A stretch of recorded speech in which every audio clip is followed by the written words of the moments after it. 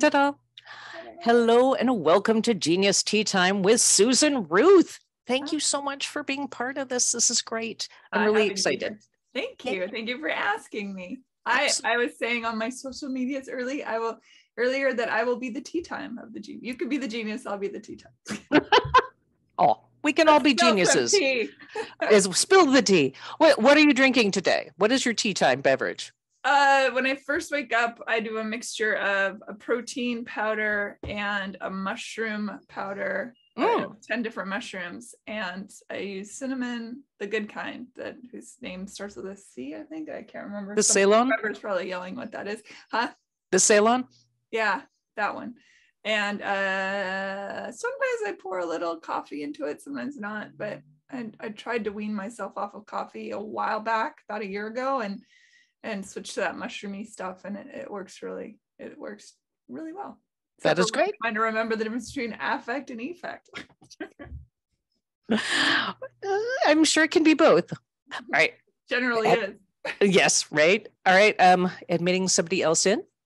Thank you may um so susan ruth in her own words began her career as a performing artist and songwriter in Seattle, Washington, where she garnered multiple performance and writing awards for her albums How to Say Goodbye and Surfacing to Breathe. In 2006, she moved to Nashville, Tennessee, and penned songs in multiple genres for artists Reba McEntire, Lonestar, Erdem Kinay, O'Shea, and the United, among others.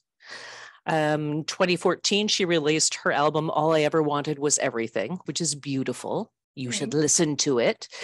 Um, her songs have been in featured in motion pictures, including Life on the Line and Afterlife, as well as on the TV series MTV Road Rules and Real World. In Classic. July of yeah, of course. In July of 2016, she founded the human interest purpose driven award winning Hey Human podcast and it's since gained momentum and worldwide attention for its open minded conversations, ranging in topics from science, tech, religion, art, economics, and politics to humanism, philosophy, gender, and race. Really super important right now. Susan is an accomplished abstract painter, and her work is sought after by collectors. The majority of her paintings are commissions. She is self taught, but also the third generation grandniece of painter Carl Gutherz. Am I getting that? Gutierrez. All right. Notable member of the American Symbolist movement of the late 19th century, whose works hang all over the world. She is also a sketchwriter and screenwriter who wrote and directed her first short film, Hurrah! Congratulations! In February, this was the first, and completed the Second City Conservatory program. Thank you so much for being here. Yay! That you seems want... like a lot of stuff. It's so much stuff. So, do you want to introduce, by the way, the Trevor Project, which is the organization we're sponsoring? Yes, that is correct. Uh, Trevor Project is a wonderful organization. They specifically help uh, young people with, who are in the LGBTQ plus I community. They help them because mental health is so important, uh, especially within those communities. Uh, somebody who is uh, in the LGBTQ plus family is four times likely to commit suicide as a youth. Suicide is already a big one for kids. Of course, it's surpassed by guns, but uh, so the Trevor Project works diligently to help support people and uh, make sure that they stick around because we need people. We need we need those folks to stick around. So it's so important. Yeah. And then what do you want to tell us all about today? You made my screen so big. So I, I know. I was like, look, because we get to see you. wow. wow. Your beautiful face. Oh, Lordy. Uh, what should we talk about? What, what, what does you usually cover on these sorts of things? I mean, come on. Oh, I want to mention really quick too. I started a, another show that's out there. It's called Are We There Yet podcast show, and it's on YouTube, and it's a sex and relationship show that I do with my friend Mara Edelman. She is a sex um, a, a we got sexologist type person and healthcare practitioner. So yeah. Dang. Well, how are you enjoying yeah. that, by the way?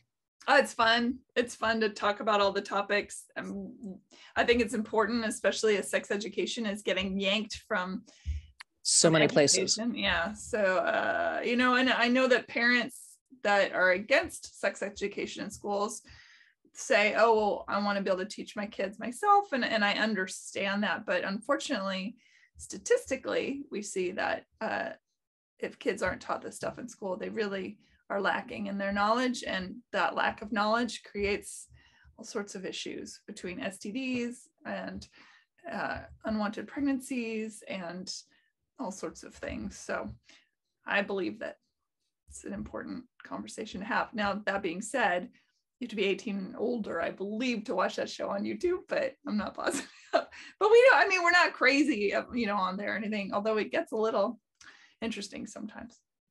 What are some topics that you were most excited about in the last? Oh my gosh, we've talked all right. about all sorts of fun things. We've talked about uh, BDSM and and toys and masturbation and the first time you ever have sex and how important boundaries are and establishing rules of conduct within a relationship and uh, everything in between. Lots of stuff. I started with the real racy stuff there, but yeah, everything in between. Because uh, it's all out there. We've talked about fetishes and there's no shame. And there doesn't need to be. I mean, I think that that's the biggest thing. Re- yeah, consensual, great. Bring it on. Non-consensual, there's problem. Consensual, great. Yeah. Oh. Yeah. Do so you find another little nugget in the in the yeah yeah. In the multi the multicolored uh, prism that is your life. Yeah. A lot of stuff. So did do you find that i'm assuming that hey human was your first podcast? Yeah it was. All right. And was that your first time with just sort of experience and wanting to go through that process and um, to talk yeah. to people in that way? I know that you've done that personally but it's different the impetus for that show was a feeling of hopelessness about humanity and uh, i didn't i didn't want to be part of that i wanted to be part of the solution. And i had a really beautiful experience with some humans and and decided that i was going to be part of the the change that help people to facilitate people remembering who they are and that we can come together and have conversation and that we're all connected and that there are lots and lots and lots of different kinds of humans in the world. Yeah. Yeah. And that that's one of the more beautiful things you can do. I think so. Oh. I mean, I know that with songwriting, you are used to you're used to telling stories, and you've been doing that for a long time. Yeah. How? What was like the transition from songwriting into this? Well, I haven't stopped songwriting, so yeah, I didn't I figure. Would, yeah, but the tra- I mean, whenever somebody says to me, wow, you do all these different things, there's so many things you do, I, I often say, I'm a storyteller and that I am able to tell a story through all these different mediums, whether it's songwriting, whether it's in a conversation or listening to someone else's conversation or a painting or whatever it is, or even even just writing something on Facebook or something, you know, that's it's all storytelling in its own way. Um, and for me, it's didn't, I didn't even notice. Let's put it that way. For me, it was all the same. It was Makes sense. There was no, there was no dividing line like, oh, I'm a songwriter and now I'm a podcaster and now I'm a painter and now I'm this and now I'm that. In fact, when I started writing film, so the first is the first film that I've uh, written and directed and produced. However, it's the third short film that I've written since I've come to town to LA. Uh, and I didn't know how to do that, but I did know that I had spent a long, long time writing songs, and songs were just movies shoved into three minutes. And so I figured, what the hell? It's one of those things where I don't I don't really see a big difference. It makes sense. Yeah. No, no, they're all storytelling in a different way. But um, for example, the painting, though, is a completely different format for storytelling. Sure. Do you find that you use like I don't know, go into a different mindset for the different mediums? I would say painting is my most relaxing place, except for I do get a little intense with commissions because I'm worried that they won't like it. And so when mm-hmm. I set to paint a commission, I tend to paint two or three, and then I say, "Which one do you like best?" Which, and sometimes that works out, and they they're like all of them. But um, yeah, the painting, I don't have a story in mind. I really, this is going to sound like I'm a pompous ass to throw myself in with uh, the this chiseling out of the David, but I really get that idea of Michelangelo saying, "Oh, he was in there the whole time. I just had to release him." And to me, when I paint, I have no idea. I don't do pre-sketch, or you know, a lot of people do um, little tester to see how they like things, and I think that's really cool. But I don't do that. I just go in, and it's really more of a meditative space for me, and something just shows up. And i'm as i'm working i think oh wow that's that's this thing. That's cool. That story is coming up. One of the more interesting experiences i had and, and again once you paint something at least in, in my opinion you have to let it go and let it be whatever it is to whomever especially when you're an abstractist like myself uh, that whomever is taking it in is they're entitled to their own story.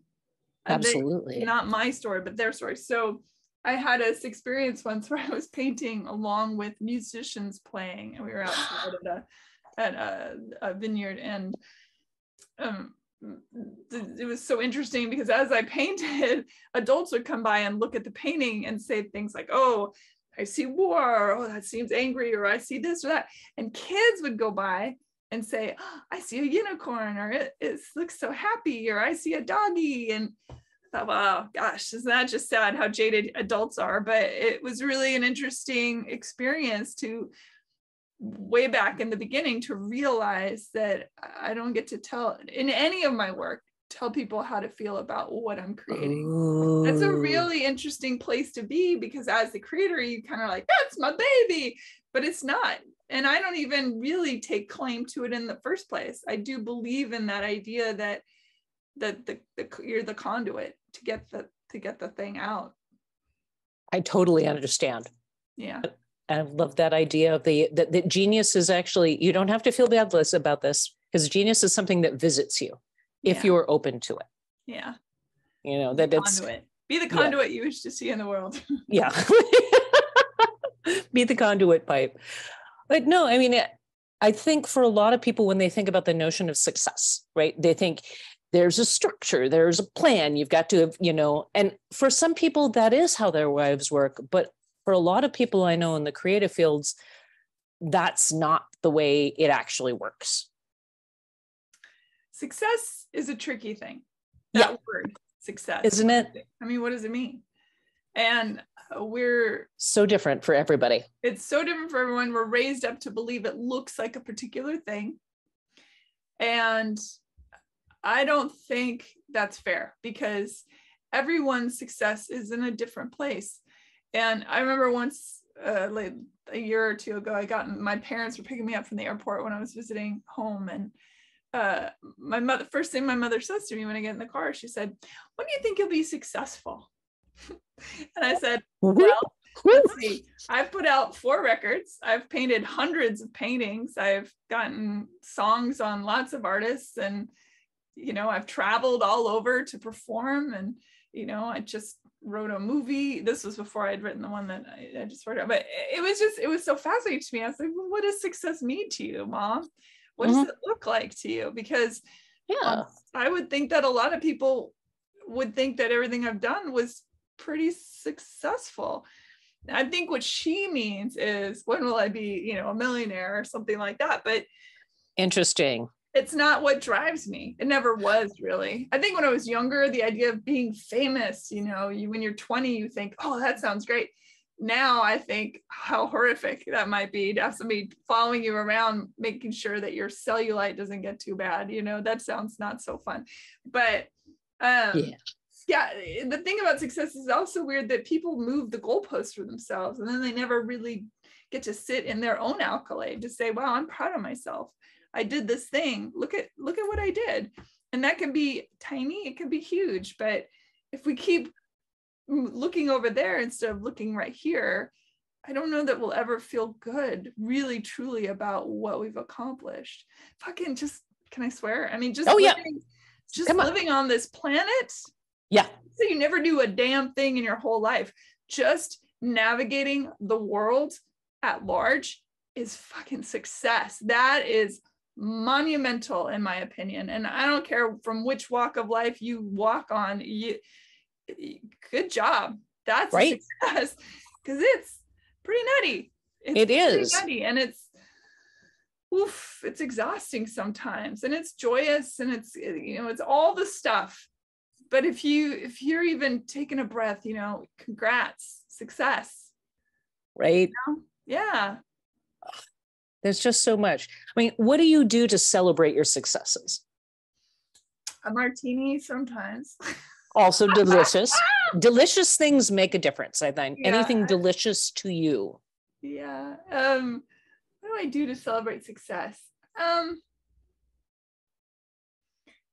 I think I just try to feel it, you know, feel it in my belly, Yeah. feel it on, on some level because again, it just depends on what what a person thinks success is. I, you know, I've had performed a song and had people in the audience singing the words back. That felt pretty good. But even success is just being in the presence of another person and performing uh, or having them look at, you know, success felt pretty good walking around a gallery and people looking at my art and not knowing it was me and just listening to what they had to say. That felt pretty successful. Whether or not any of those paintings would ever get purchased didn't matter. The point is, is I made some stuff and somebody else is now looking at that. That's pretty cool. And you know what I mean? It's it's such a such a weird ethereal thing. Yeah. Yeah. Yeah. I, I don't know. And I keep I'm driven forward all the time, but I'm also I feel I feel lazy all the time. I get mad at myself, you know. I, I my brain moves very quickly and sometimes it just stops working, just stops. And I, I'll Mm. find myself staring at a wall for a few minutes and I'll sort of snap out of it. And uh, I'll think, okay, uh, obviously I've pushed my brain a little hard and now it needs a, a rest. And it's taking a life, taken a lifetime to remember that rest is okay and that I'm not doing something wrong, Wow. you know? Have you seen things from the NAP ministry? From the who what? The NAP, As ministry. in nap? yeah, as in naps. Check it out. No, but that sounds like a church I could get into. Right. what is it? Um, but- but just that the idea, I mean, specifically, this is from women of color who and who've been black women who've been dealing with uh, labor being forced upon them all the time, and both literal and figurative. But that the idea that resting is regenerative and necessary, and not only should you not feel ashamed of it, you should love this. This is part of what your body and your life and your mind need, or or you can't be fruitful Mhm. in any way. Like the Italians get that. Yeah. they know how to rest and the spanish i suppose anyone that I, I think america has this really bizarre idea of what we have to work ourselves to death and to be worthy to be worthy of what i mean i'm i gotta say I- i've been to parties where people are driving some you know hundred thousand dollar cars but i love my little scion that i've had since 2008 she's freaking awesome. I love my little toaster oven. She's the best.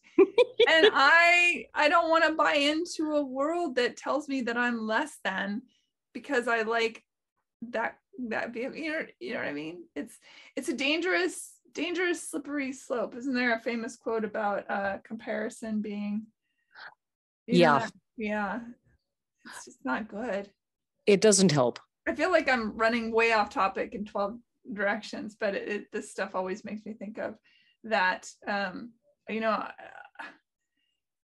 we get told who we're supposed to be how we're supposed to work what we're supposed to look like and the truth be told like nobody gets to take you away from you. You belong to you period. I don't care who they are. I don't care if they bore you not boring but bore you like baby. But i don't care if they're your teachers or your uh workmates or your boss or or whatever. It's we give up so much of our power in this life. And i don't know if there's anything i can impart on someone it's keep your power you know claim it reclaim it and the only reason they took it from you in the first place is because deep down they're scared of you Ooh. you know Yeah. Yeah. And that's sometimes that's a hard lesson to learn, i think so you know. i think so But I also think there's certain things that are innate. like if you know that you're a storyteller and you know this, I mean, there's stories are demanding to be told. I mean, do you ever have that where the work kind of requires you to do it? And oh, absolutely. Uh, but again, I can be uh, feeling like I haven't done enough. I've got lists of things that I want to do and create, um, but I get overwhelmed sometimes and then I don't do them and then I feel bad about it. So for mm. myself, just because I do feel this responsibility of if I am a conduit and and not I really do believe that that I'm whatever the the faith god the you know whatever that i'm channeling information i think it all floats by and we get to pull it down that's why you know you you see three movies come out and they're the same movie but they're written by totally different people who've never met each other or you know the bookshelves are filled with books of some of you know similar ideas but sold a little bit differently and I think, okay, those things are floating by. And if I don't grab them, and I have grabbed them and pulled them down, but if I disrespect the thought from the universe and don't finish this, ah, which goes against kind of like that, oh, the universe doesn't get to tell me who I am either. But uh-huh. like where the universe is concerned, or God, or, or whatever you want to call it, is like it actually knows who we are and it wants us to rise to the occasion. That it's the antithesis of the other stuff. It actually is like oh honey you're a you know you got all of it. You you know you you've you've got it all. It's floating by. You're grabbing it. We trust you to to get it out. Uh don't you believe in yourself enough to do it you know it's that kind of feeling i think why should i write a book for god who's going to read that there's 50 billion in my house alone a gajillion books and then I think, wait a minute, in my house alone, there's a gajillion books. So why can't I write one? It's it can, you know, you can twist it on yourself. Right. Yeah. You can do that. You can tell yourself different stories about that all the time. All the time.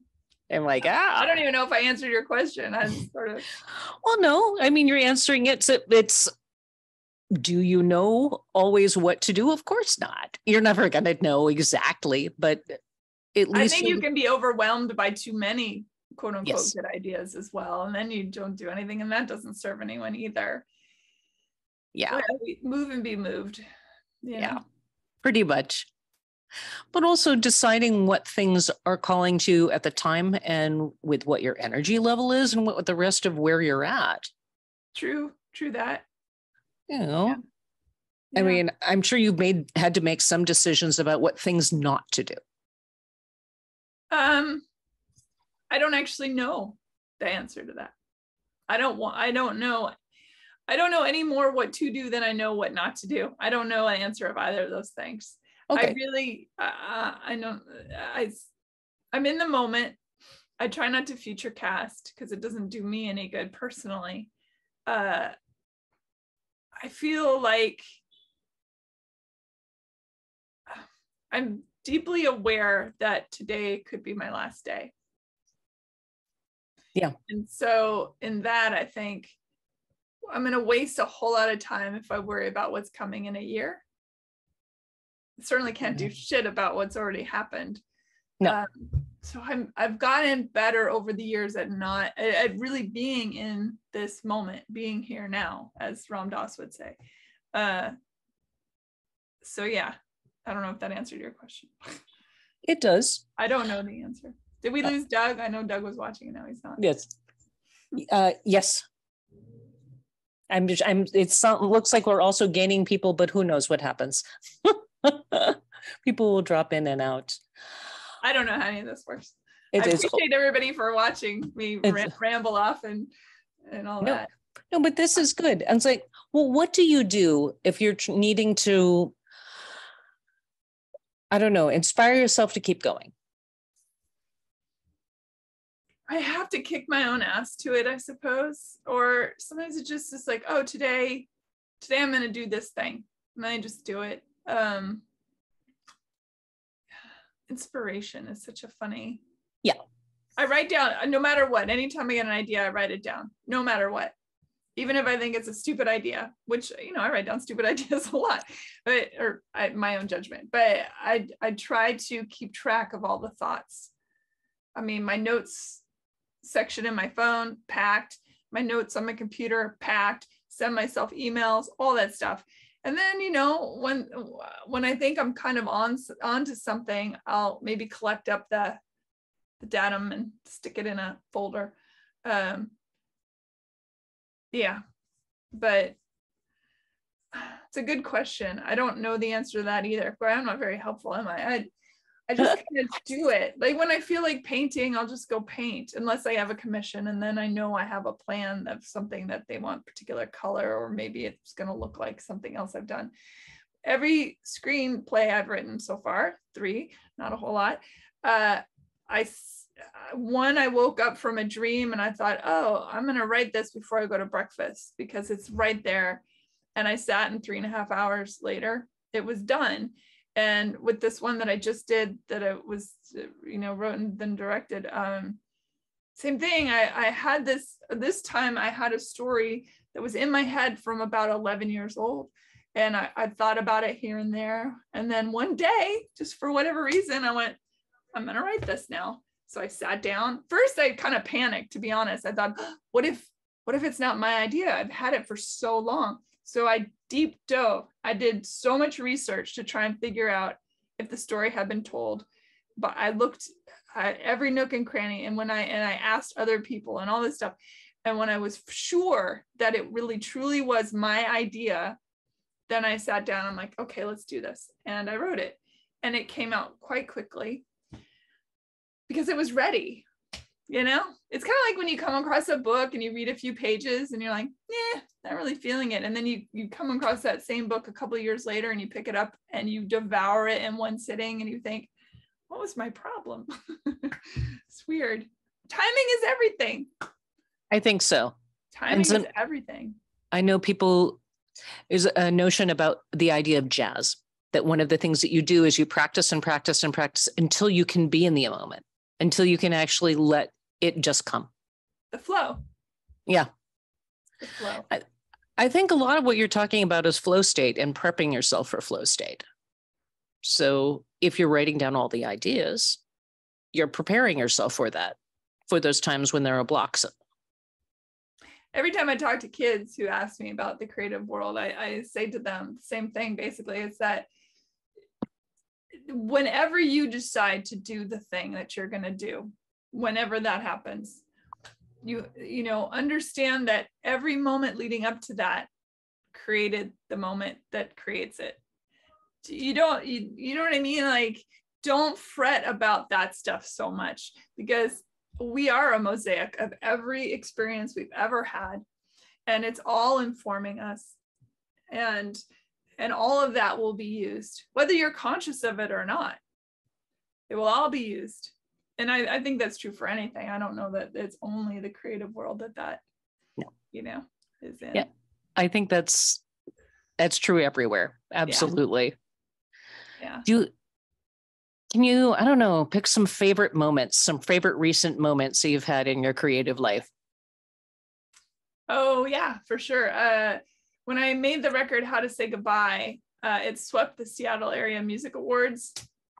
That blew my mind uh, I was up against huge acts, you know, like at the time it was Pearl Jam and Soundgarden, all these Seattle uh, bands and such. And I don't know, that was it was mind-boggling to win to win all those awards. That was really neat. And it as much as we like to think that awards don't matter, they feel good when you're, you know, they do feel good. But um, so that was cool. I really, really loved getting into the Second City Conservatory felt really good. That was cool. Um, and I really enjoyed my time there.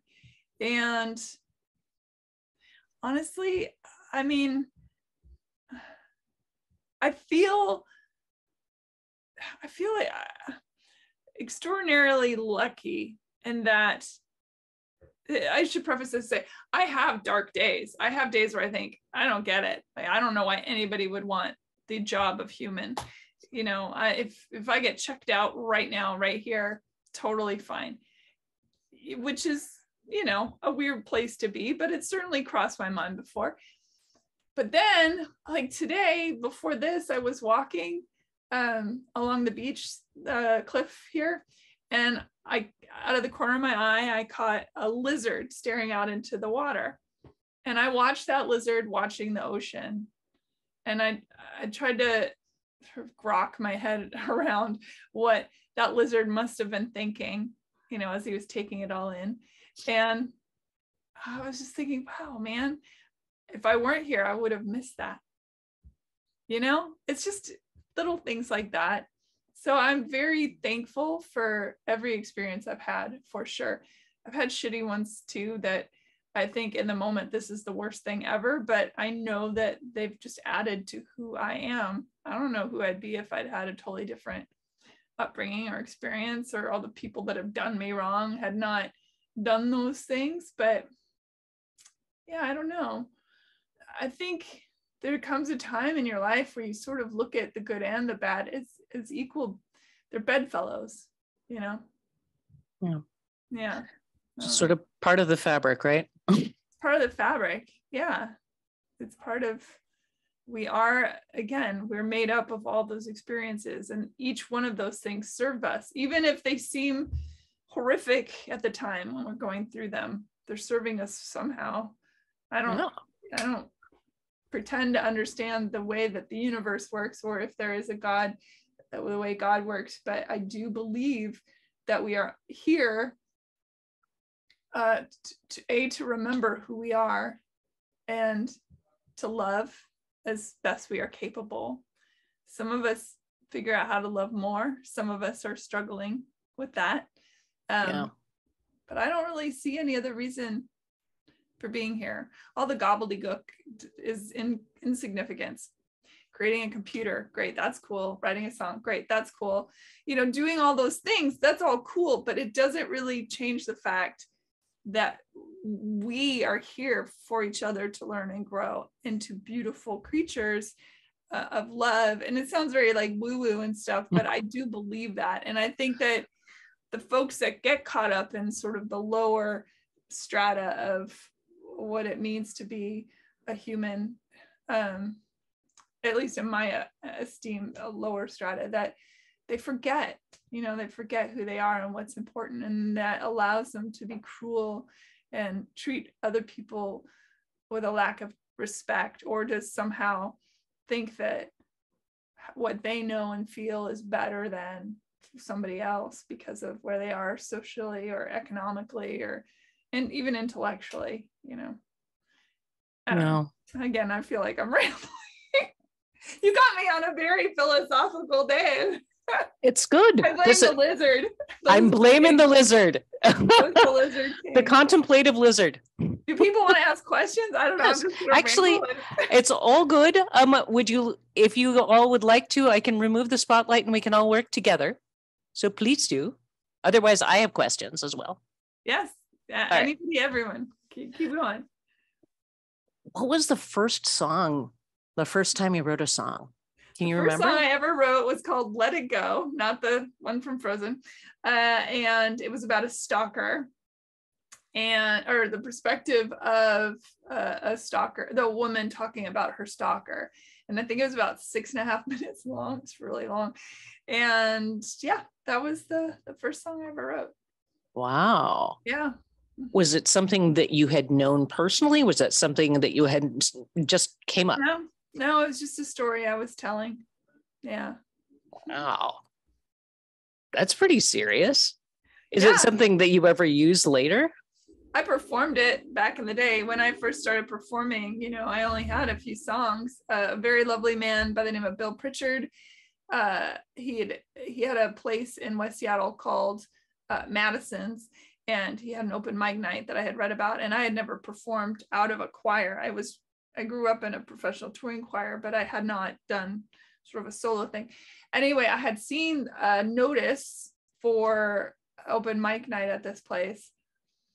And uh, I uh, asked my roommate at the time, this guy named Kurt, if he, because he played guitar, if he wanted to do a write a song with me. And so we wrote a song and went and performed it and uh, people enjoyed it and the owner bill pritchard asked me to you know come back and do a show and that if people it would I wouldn't get paid, but I could keep my tips. But if people liked it and I was a success or whatever, that um that uh he would have he would hire me for like an actual show show. And I was like, I only have the one song. And he said, Well, you better get writing.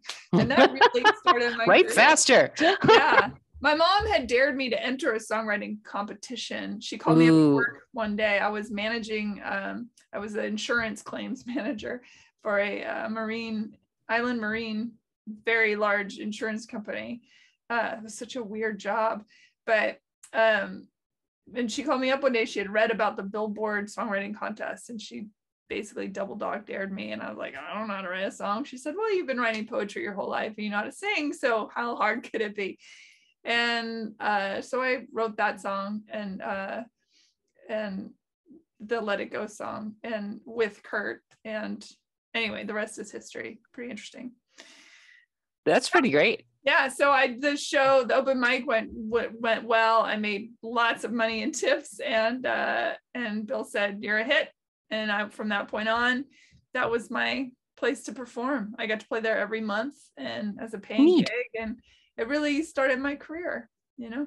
Yeah. Yeah. Do you find being dared really like motivates you to do things? I think it is helpful.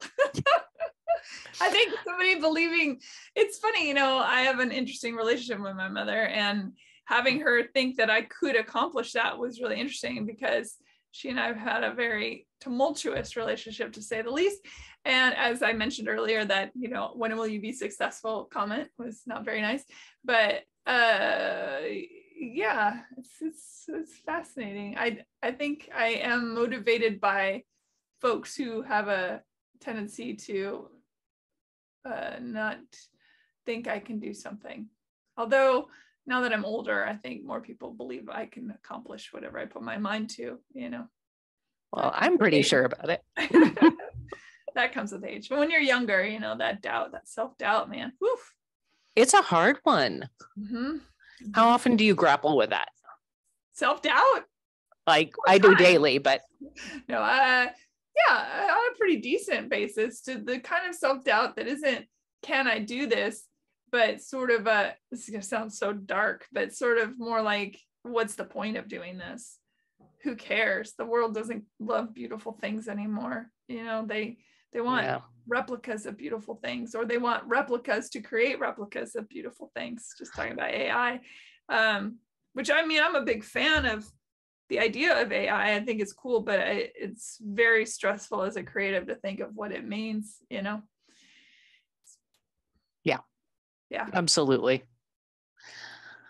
I don't know. I mean, I don't think that it's going to take the place of everything that we can do as creative humans. But I, I think surface level, it, certainly people will use it in that way.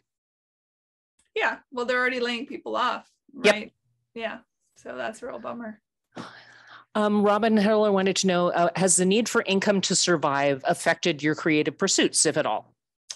Or how's it? Question. Um, I live pretty small, which is helpful, but uh, every couple of years I go back to what I would call a real job and stockpile money, um, and then have that, you know, and then sort of taper back a little bit on the creative world, and then uh, come out of the gate with you know my pile of riches mm-hmm. from, corporate America. But I'm miserable the whole time. I hate to say it, but I am. I'm just like, oh God, kill me now. But, yeah. And I don't know. It's such an interesting thing. Do I live large? No. Do I have a fancy car? No. Do I, you know, but I don't need anything. I I don't feel like I need anything. And I think once you get to that point in your life, it's it's a lot easier to navigate. Now, the outside world thrusts things upon you like California rent, for example. Yeah. But I live in a rent control place, but um I do wish that there were better better ways to to make a living as a creator. I, I do wish that it was supported more to be creative. Yeah, absolutely. You know, I mean, you know, because you live a creative life. Yeah. I, and, and a lot of time it's a balancing act. So most of the people that I know do a balance between what will pay the best and Yeah. what will bring the life that will work the best for them. And that also can be an issue with health concerns. And, uh, you know, there's so many other th- factors to throw into that mix. Yeah, I have health insurance because I I have to because I'm have morphine and celiac and stuff. But um, you know, I do have a, as Liam Neeson would say, have a special set of skills, and as such, I can be hired. Um, people do hire me to think outside of the box for them. I get hired as a consultant on things, Mm. uh, and that's that really helps pad stuff Got it. too. Yeah. Um. Trevor wanted to ask, um, have you done any sort of cross media with your work, say painting a song or incorporating your writing into your art? And if not, have you considered doing that, like a multimedia gallery show?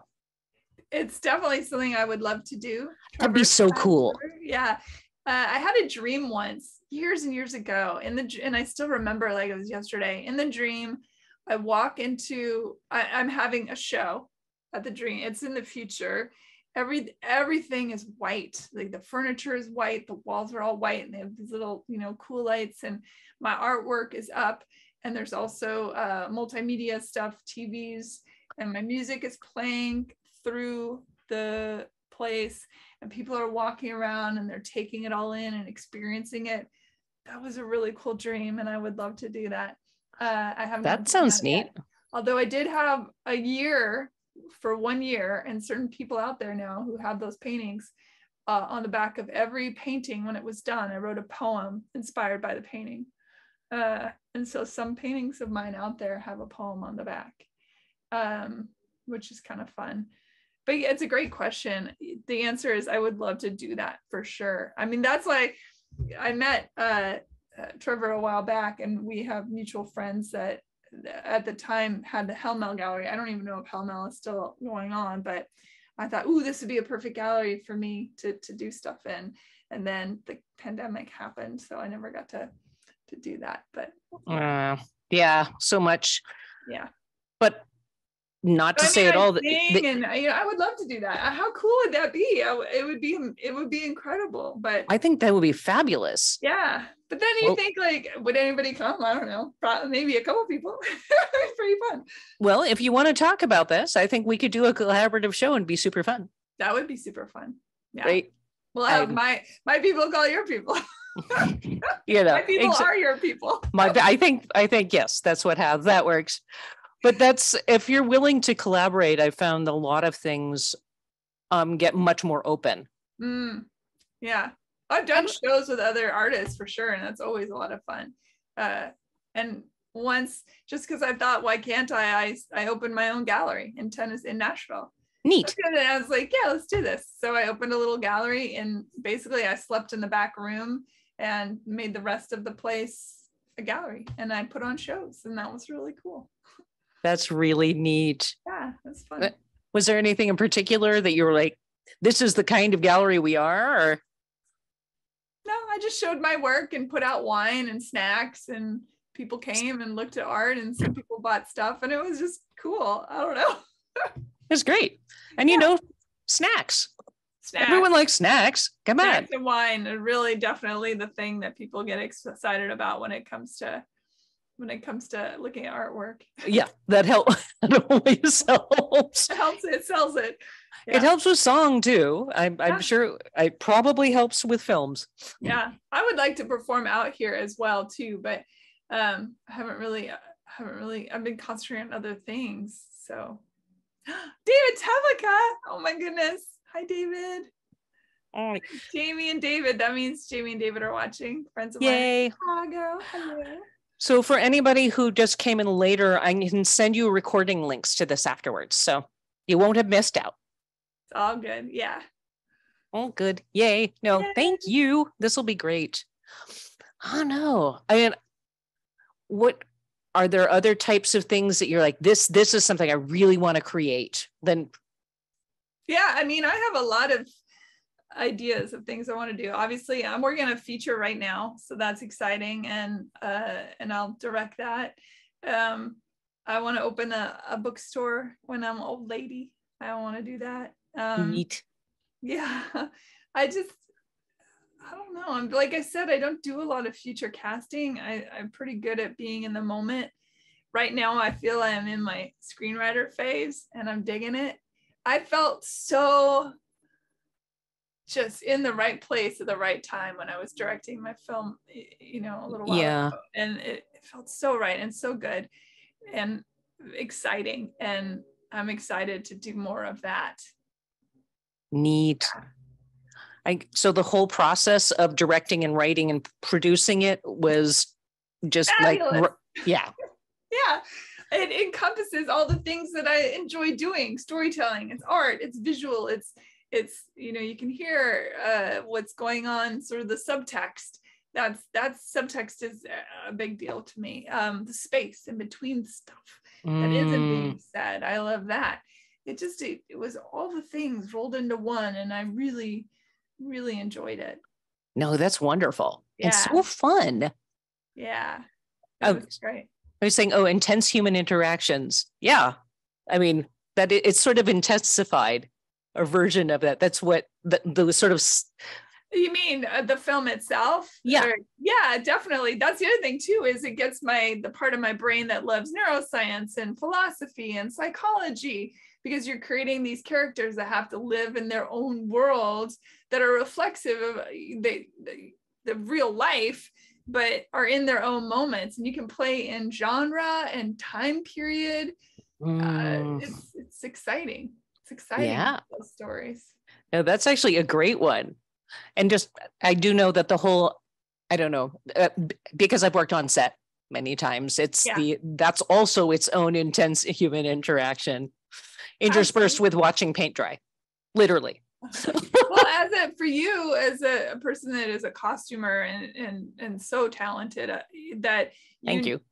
In my humble opinion i believe that the costume is also a character and so right when you're Yeah. creating those things you you're creating such an important part of the story Thank you. And I just mean that being on there and in there in the production period is also an intense human interaction. Like just Oh, yeah. creating anything. yeah Um, it's a juggling act for sure there were 35 people on my on my dang. Jamie was there. He was awesome. But yeah, there there was it was an exciting time and stressful. I mean, it's expensive. I had to raise money and I had to put up money and you know, but every time I used that credit card, I thought to myself like, okay, Susan, well, this is this is expensive and you're putting your own money into this and other people are putting their believing in you and putting their money into it and it's super stressful to think about that but uh but also i mean why not do this thing you know Yeah, I've, I've got to say, you know, I'm having funded several of my own things Yeah. and, and parts of that. There are all kinds of silly things I could be spending my money on. sure I'm choosing to do this. yeah and again if you don't live very large i mean i've made four records and uh those aren't cheap Nope. You know i'm working on an ep right now that's taking really long time because it costs money and it costs time. And i you know it's it's just one of those things. But i've said this on so many different shows. People say well you know what's it like to be a creative? I said well being a creative it's in you so deeply that you can't not be it.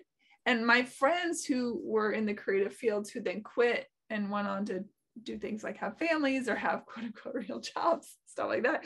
Um i was like tell me your secret. What's the secret to not doing this? Because it's so it's so in my blood that i cannot imagine not i like i said when i've gone to do normal jobs for a couple of years just to stockpile finances misery.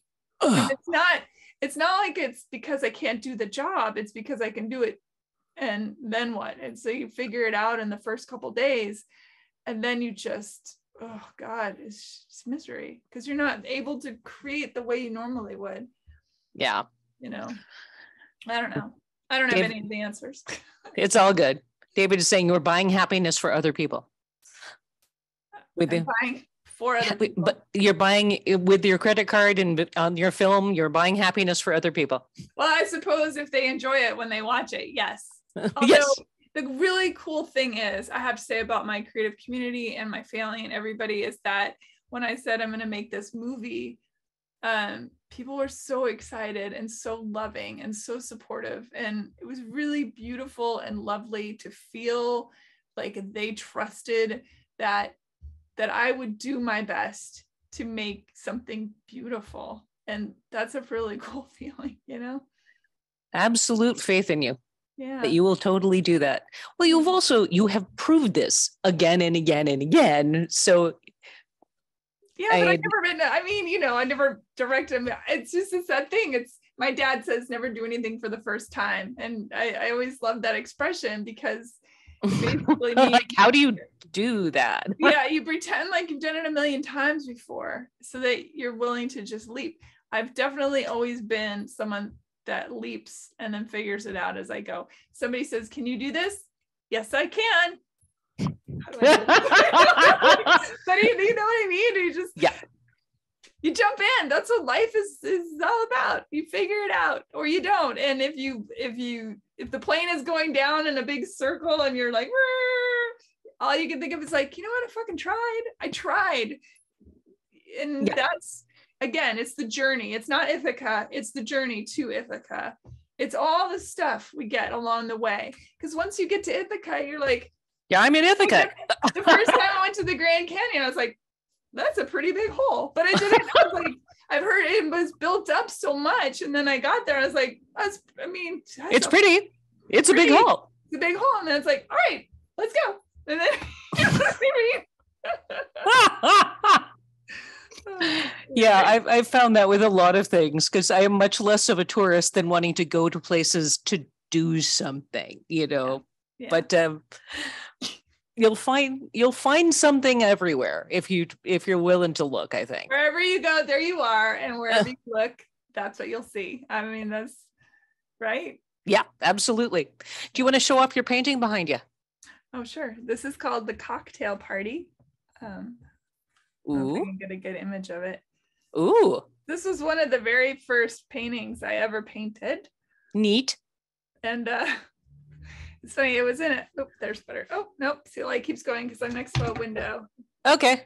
The Ooh. faux pas of um doing these sorts of things. But when I, I painted that, it was one of the first ones I ever painted. And it was in a restaurant in Nashville. My friends owned a restaurant. They're like, oh, can we use some of your artwork? And I got a phone call from this woman. She had seen the, the piece in the restaurant. And this is one of my favorite pieces that I'd ever done for whatever reason. It just speaks to me. And she said, Oh, I'm interested in buying your painting. And I said, Oh, okay. And I was like, Fuck, I don't want to sell it. So I threw out an outrageous number and thought, you know what, if she says, okay, I would be crazy not to take it. But I threw out that outrageous number and she said, oh, that's a little steep for me. I was like, okay. That's one way.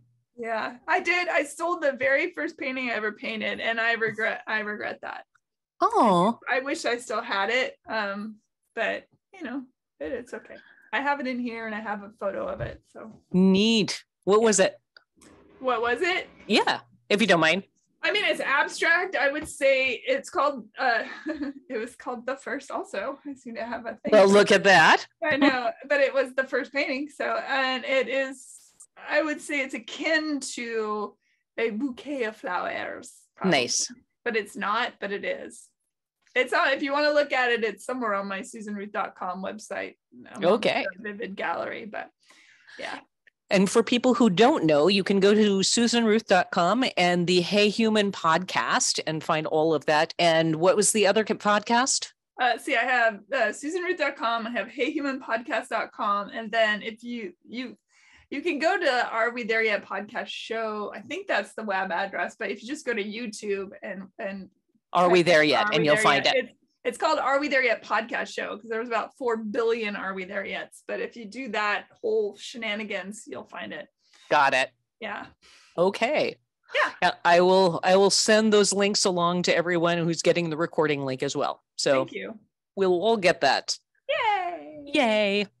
Oh, Are I there any know. other questions from anybody? There's a lot in the chats. I don't know if that was just I. I think I think I caught everything. Let me double check. Da, da, da, da, da, da. Trevor, I know you got a question or two in there. Well, he was asking about the cross media with the Yeah, painting and the writing. Good idea. would I think that's do that. amazing one. yeah. It's a great Hmm. idea. I think this is grand. Okay. Oh, thank you so much. I, by the way, lo- love talking to you, and I would just do that anyway. So And this by is by the way, Laura Brody was on my podcast on Hey Yes. podcast not too long ago, and you can hear her talk about how awesome and fantastic she is. wow. Thank you so much. That was super fun, honestly. And like swapping things back and forth, and I don't know, storied lives. Storied lives for sure. Yeah. You Well, gotta walk through those fires. right you know Yeah. and sometimes without that well i mean it's not like we all need that in order to become the people we are to be but i don't know how else you get there from here Yeah. right I like my bacon extra crispy. oh nice oh david said she had he that you were on his show too oh you were on oh, that's true. Oh, david, right. Da- yeah, Dr. David Tublica, brilliant surgeon, photographer, artiste, creative human uh, from Chicago, lives in Chicago. Uh, he was on, I think it was about two and a half years ago, I want to say.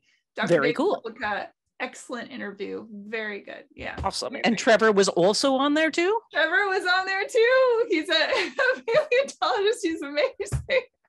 yay Yay!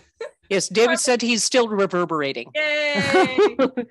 Yes, I you know what? Here's the the wild thing is as as topsy turvy as this life can be, and it can be, I the, some of the folks I've met, just like David's a great example. I met David through other friends in random. He had randomly come to Seattle to uh, watch a show, a music show. I was sharing the bill with performing.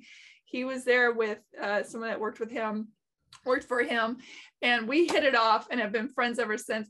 Trevor and I met and completely hit it off and been friends ever since. We met at a pinball party of all things. It's, just- it's wild where you meet people, but I feel so. Uh, Jamie is another example. I met Jamie through David. It's like you meet people and you think, oh, oh, there you are. You married my cousin, but you, Laura, are are you and I have always just clicked Yeah. for whatever reason. And I do feel that I have been very lucky that some beautiful, loving, open hearted, wonderfully brilliant people have come into my life. And that I Yeah. wasn't so asleep that I didn't recognize it is also wonderful. You know, it's like, oh, there you are. Ooh, there you are. You know, so that's come on let's visit together yeah. be the lizard be the lizard lizard. contemplating Those of you coming late, you'll know what that means when you watch the replay. yes the, the lizard contemplating this the ocean and the The universe ocean. That's right. that's what we do that's right. Aw. thank you so much this is lovely all right Thank you. Thanks for having me. absolutely and again i will send out links to everybody thank you for joining genius tea time